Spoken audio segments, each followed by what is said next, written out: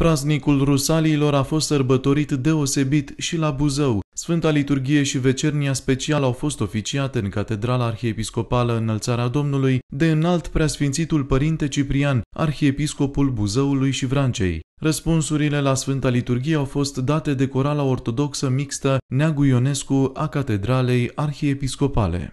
Astăzi putem spune că este ziua noastră a tuturor. Este sărbătoarea noastră pentru că sărbătorim actul de întemeiere sau de naștere a Bisericii, înțeleasă ca și comunitate de creștini botezați în numele Lui Hristos.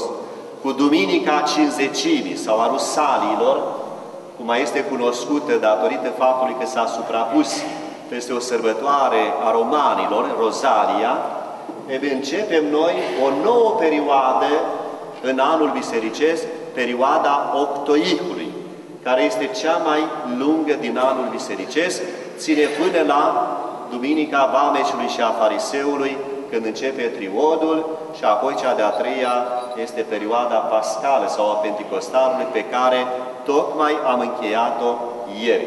Acesta este ciclul de sărbători care ne caracterizează și ne marchează viața noastră creștinească și de acum înainte veți auzi în fiecare duminică și sărbătoare fragmente evanghelice în duminica întâi după Rusalea, a doua după Rusalea, a treia după Rusalii, în care suntem îndemnați să ne însușim, să împlinim Evanghelia Mântuitorului Hristos, care se propovăduiește în mod corect doar în spațiul sacru al Bisericii, de către slujitorii pe care Hristos i-a rânduit.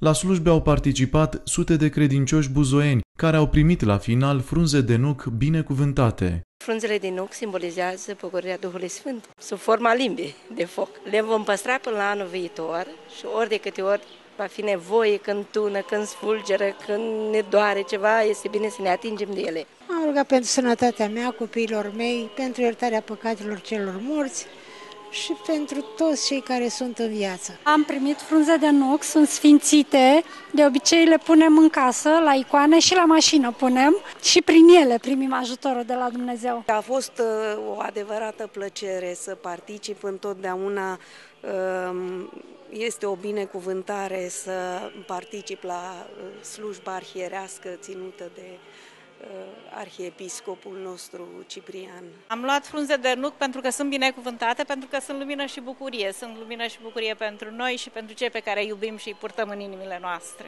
Luni de Sfânta Treime, înalt preasfințitul Părinte Arhiepiscop Ciprian va săvârși Sfânta Liturghie în parohia Sătuc din județul Buzău.